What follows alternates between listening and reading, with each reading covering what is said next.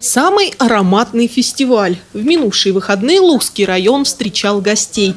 День Лука снова побил все рекорды по посещаемости. Участие в фестивале приняли не только ивановцы, но и жители других регионов.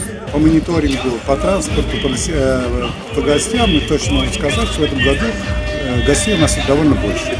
И лука больше, и гостей больше. Так что сегодня без лука никто не уедет. Погодные аномалии этого года урожаю достояния Лукского района никак не повредили. В этом году луховчане собрали рекордное количество лука.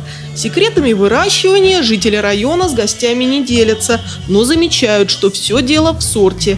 Местный лук устойчив к непогоде и обладает особенными вкусовыми качествами. Потому что он самый вкусный и не горький,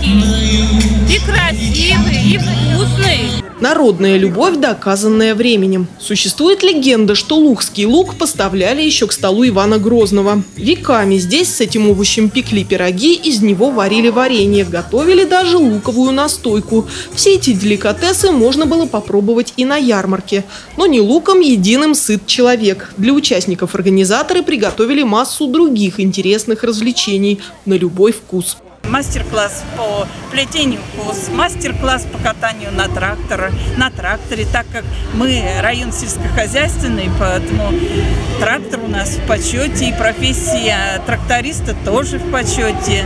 Вот у нас было катание на тракторе, мастер-класс по изготовлению ризотто. На один день окунуться с головой в сельскую жизнь, проникнуться народным творчеством, а заодно и вкусно поесть.